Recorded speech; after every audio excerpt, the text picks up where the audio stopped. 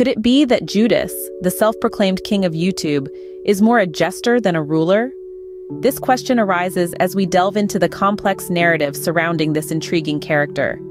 Just a few weeks ago, Judas was on the fence about hiring a cameraman, seeking the counsel of his subscribers. Yet today, he seems to be rejecting the very idea, citing issues with public liability insurance. An interesting change of heart, wouldn't you say? Judas shares that he's been observing the work of Justin Rhodes but wants to avoid the backlash Rhodes faced.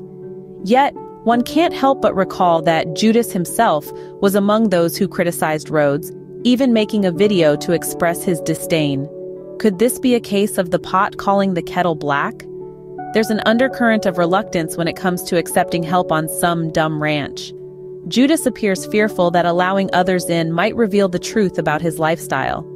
The fear of the king being unmasked, perhaps? Despite this, Judas speaks of his loyal friends, all three YouTube channels worth. He's voiced his disillusionment with friendships, stating that many used him to build their platforms.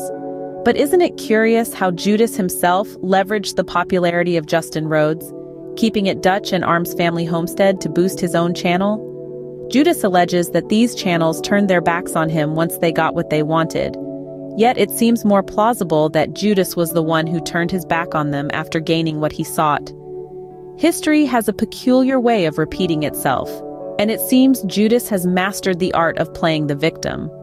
One can't help but wonder how Judas manages to sleep at night, knowing the web of lies he's spun about other YouTube channels. Meanwhile, his supporters, like the drunk nurse, seem all too willing to nod along. Now Judas is threatening to launch a podcast to expose those who used him for views.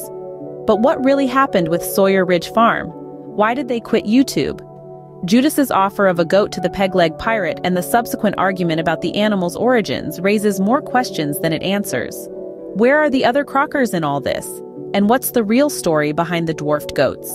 The truth remains elusive, shrouded in the mystery of Riviera, Texas and Bristow, Oklahoma. In conclusion, the narrative surrounding Judas is a complex web of contradictions and controversies. He appears to be a character who is quick to play the victim while failing to recognize his own manipulative actions. Despite his claims of being used, it appears that Judas himself has used others for his gain, all the while spinning a web of deceit. Remember, in the world of YouTube, not everything is as it seems. And as for Judas, the self-proclaimed king, his true colors continue to show, painting a picture that is far from royal.